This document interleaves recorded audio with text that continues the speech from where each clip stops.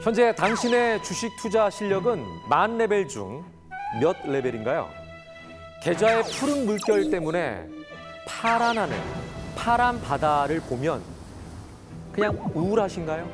다른 종목은 다 오르는데 내가 고른 종목만 제자리 걸음이어서 답답하신가요?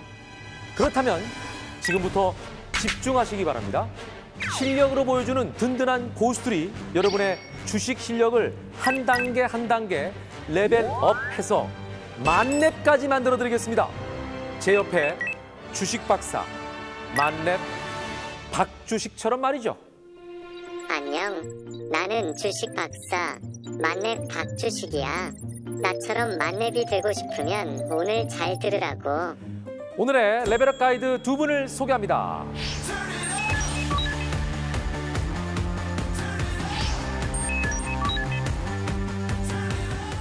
백진수 전문가님 그리고 이동우 전문가님 어서 오십시오. 반갑습니다. 안녕하세요. 아, 네.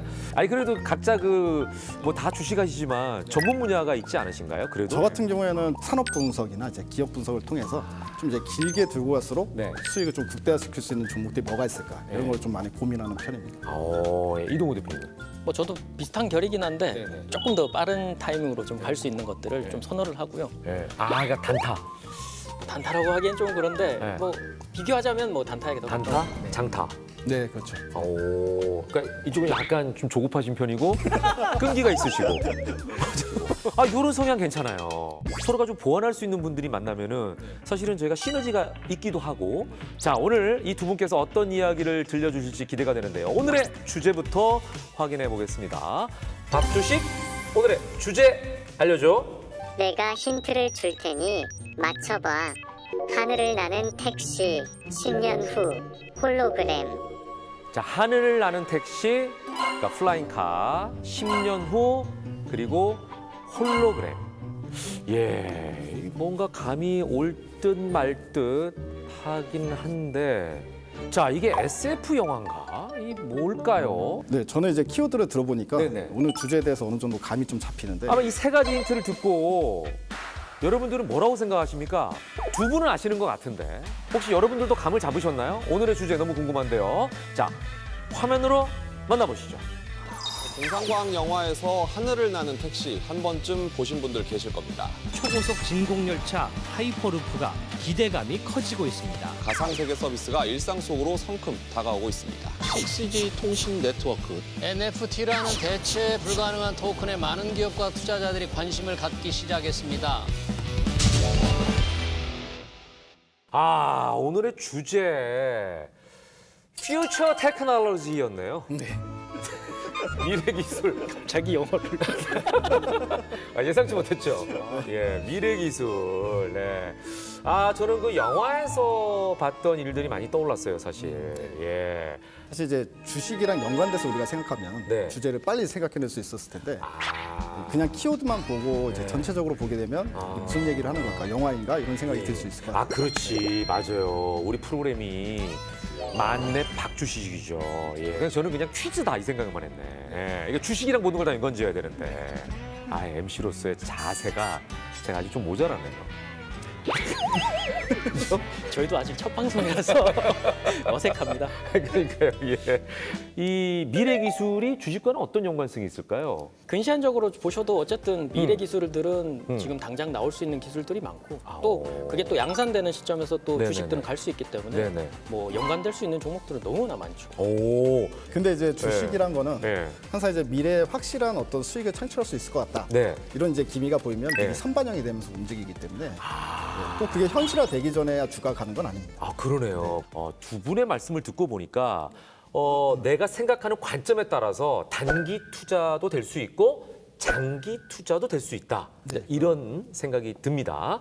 자 여기서 두 분께 하나 질문을 드리고 싶은 거는 과거에 미래 기술에 투자해서 성공하셨던 경험이 혹시 있으신가요?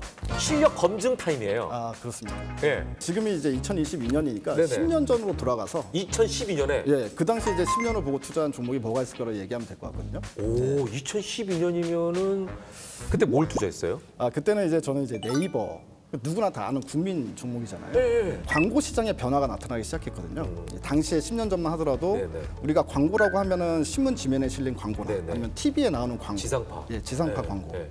미래로 갈수록 어, 이제 광고라는 개념이 이전에는 절대 다수한테 노출을 시켜서 네. 그러니까 공급자를 소비자가 찾아오게끔 만드는 시스템이었잖아요. 음, 음. 네. 근데 지금 시대로 보게 되면 저희가 광고를 보고 찾아가는 게 아니라 광고가 저희를 찾아오잖아요. 네. 예를 들어서 제가 요즘에 뭐 자전거에 관심이 있다. 맞춤형 나- 광고죠. 예, 나- 예. 날씨가 따뜻해지니까 예. 그래서 자전거를 많이 검색을 하면 예. 어딘가에서 저한테 예. 자전거에 대한 정보가 와요. 그러면은 결국에는 그 정보를 얘네들이 음. 어떻게 알고 기업들이 어떻게 알고 저한테 그 정보를 보냈을까? 내가 이거 필요한 줄 알고. 음, 그런 거는- 성향 분석을 계속 하는 거죠. 그렇죠. 예. 그럼 빅데이터가 필요하다는 거죠. 예. 그럼 그 빅데이터를 누가 제공하느냐? 결국 검색 엔진 라인을 가지고 있는 네이버. 결국 이런 플랫폼 업체들이 가지고 예. 있다. 그러니 이들의 광고 시장이 이제 뭐 지금도 방송국이긴 하지만 예. 광고 시장의 광고를 뺏어가는 그런 시대가 온다. 그럼 주가는 어느 정도 됐었어요? 그 당시에? 지금이 한 다섯 배 이상 오른 상황이니까요. 예. 그러니까 그 당시에 이제 시가총액이 10조, 10조 대. 그럼 지금은 50조 네, 예. 정도가 되는 거예요? 50조가 넘죠. 예. 그러면 100 전문가님은 다섯 드시는 근데 이제 그게 네. 지금도 어, 지금도 이제 그걸 파는 상황은 아니다라고 보고 있습니다. 아, 아직도 들고 있는 거예요? 계속 들고 가야 된다고 생각을 하고 있는 거죠. 예. 자, 이번에 이동우 전문가, 이동우 고수님은 어떤 종목에 투자를 하셨었는지 여쭤보겠습니다. 그때 당시에 이제 지금도 예. 보이고 있는 이 전구 예. 이런 것들 뭐 예. 가장 일상적이잖아요. 예. 근데 지금 집안에 LED 전구 많으시죠? 예. 이게 조명 다 LED예요, 거의. 다 이제 바뀌었잖아요. 예.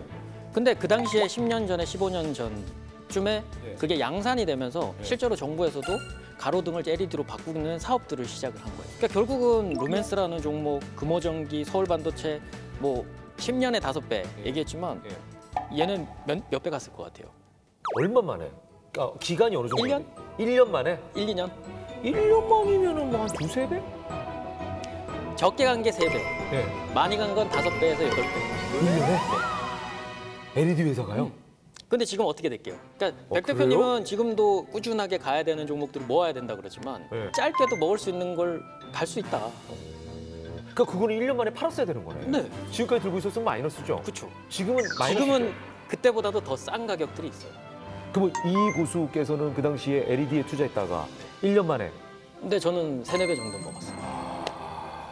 자 나도 주식 만남이 되고 싶다 레벨업 가이들과 함께 하고 싶으신 분들은요 카카오톡 채널에서 만렙 박주식을 검색 후에 친구 추가해 주시기 바랍니다.